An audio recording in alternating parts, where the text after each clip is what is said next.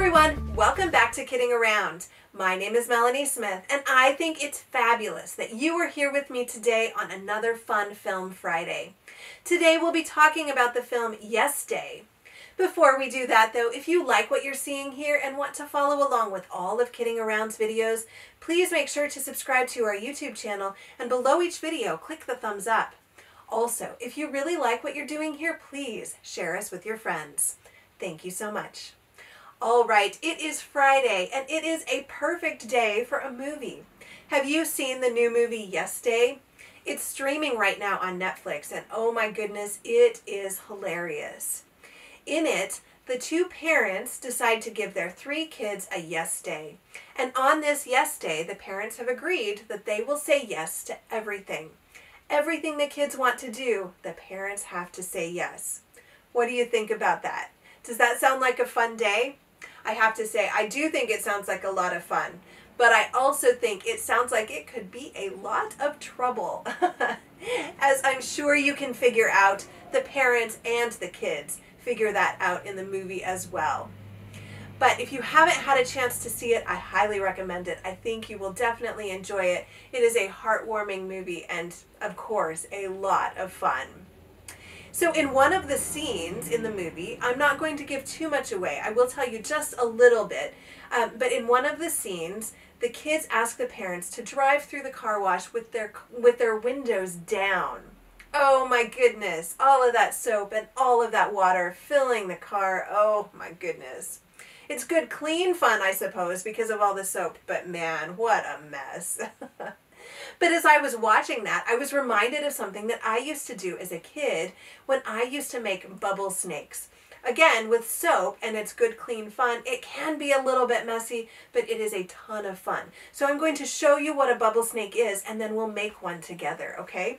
So I have this weird looking contraption here. It's a water bottle and a washcloth with a rubber band. I am going to dip it into my soapy magic solution over here and then I am going to blow into the end of this bottle and watch what happens, okay?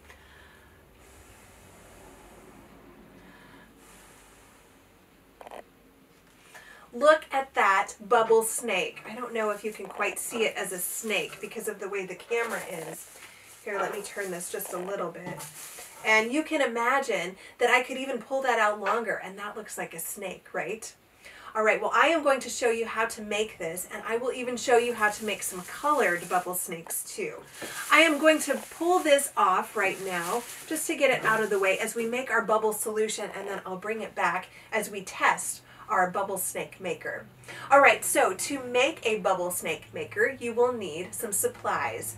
You will need some liquid dish soap. Dawn is the best for this. Bubble makers swear by Dawn, but other dish soap will work as well.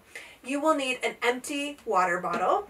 Uh, you will need a pair of scissors, a sharp knife, and uh, adult supervision and permission, and maybe even just some help with using this knife. We'll talk about that more when we get to that step. Uh, you can use some food coloring if you want to color your snakes, but you don't have to. That one's up to you. Uh, you will need a spoon. You will need a rubber band a washcloth or an old sock. This should be something that you don't mind getting stained because if you're using food coloring on it, it might stain.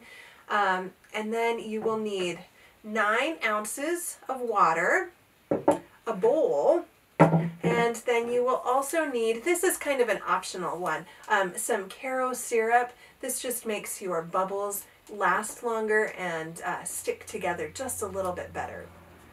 Oh, and then you will also need a place that you can make these bubble snakes. As you can see, there's a whole bunch of soap and water that obviously will come out of the end of your snake maker. And so um, you should be prepared for that. So have some plastic, have something that you can easily clean up, or you should go outside. All right, well, let's get started making our snakes, or our snake makers, I should say. All right, so the first thing that I think we should do is make the bubble solution. So this, you'll pull your bowl over and then you will put nine ounces of water into it. And then you will take two to three tablespoons of soap. I should have said you need a tablespoon. Um, I usually just kind of eyeball it, but if you want to measure it, absolutely go ahead and do that. So that's one tablespoon, that's two tablespoons, and there's three tablespoons. Two to three, it doesn't have to be exact. All right, and then you will need, this is the optional thing, the Karo syrup. It just makes your bubbles stay around longer. And this, there's no real measurement for. I say just one or two good squeezes. As you can see, this is not uh, a very perfect recipe, is it? It, it really is very forgiving. All right, so there's one squeeze, and then I will do a second one as well. And then I am going to take my spoon and I am going to stir it all up. And I just want to make sure that it's all mixed. So if you have that Karo syrup, you want to make sure that there are no clumps down on the bottom. And then your water will probably turn the color of your soap. And when it does that, you'll know that it's pretty well mixed. Okay, so then we're going to set this aside. And I will tell you, you can make this bubble solution the day that you decide to make your bubble snakes, but you can also make it the night before and it will be that much better. It just makes the bubbles a little bit stronger the longer that it sits. All right, well, I'll put that aside. And now let's make our snake maker. So this is where the adult supervision, permission, and help comes in. You will take your sharp knife or you will ask a grown-up to do this. And what you're going to do is cut the bottom of this water bottle off the water bottle. So I am just going to poke my knife in here and I'm being very careful to make sure that my uh, fingers are away from the knife. This is definitely something to have some parent help or an adult help. All right, and then I cut it pretty much off there, but I think I'm going to take my scissors and finish off that cut just to make sure that it kind of cuts off in um, an even fashion. All right, so once you have this, then you're going to take your washcloth or your old sock. Remember, something that you don't mind getting stained if you're going to be using uh, food coloring. And you're going to put that over that open end that you just cut. So you put that right there. And then you're going to take your rubber band and you are going to put that um, on the washcloth on the bottle just to make sure that the bottle um, or the washcloth stays on the bottle. Just like that. All right now you are pretty much ready to rock and roll. First off I think we should test this and see if we can get a bubble snake out of it and then I'll show you how to color it. All right so I'm moving this around just so I'm not making a huge mess like you know the people in the car wash going through with their windows down All right, so I stick my, um, my washcloth that's over the bottle down into my bubble solution. And then once it stops dripping, I am going to pull it over to my plastic or my place that I know that it's okay to get soap and water all over. And then I will put it there and then I am just going to blow into the end of this water bottle. And there is my bubble snake. Isn't that fun? All right, well, what's even more fun is to have a colored bubble snake. And so to do that, let's see, you are going to take your food coloring and you are going to put the food coloring on the end or on your washcloth on the end of your water bottle. So I am going to do two colors here. Um, I am going to take some yellow and I am going to just put it on one side of the, uh, the washcloth and then here, I'm going to cap that back because I don't want any food coloring uh, mishaps.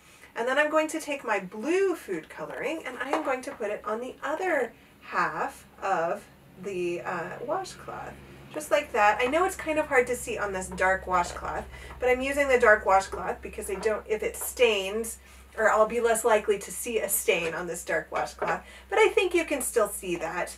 Um, it is definitely put out pretty well. I've spread it all around and now I am going to dip it into my bubble solution. Actually, you know what? I could, but I think let me just see if there's enough bubble solution already on there to make a snake. Let's see.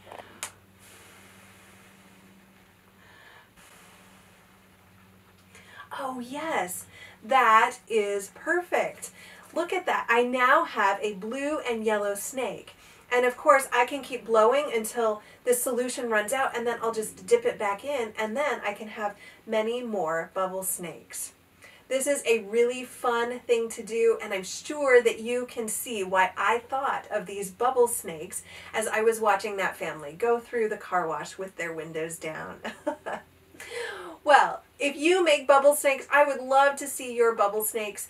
Please ask a grown-up to take a picture of those and put them on our Facebook site. I can't wait to see all of the good, clean fun that you are having. Well, thank you so much for joining me for this one. Um, I've had so much fun. I hope that you have too. I look forward to seeing you on Tuesday where we will be doing a test tube Tuesday lesson. I can't wait to do some science with you. But until then, thanks so much for joining me for this one. Thanks for kidding around with me. I will see you next time.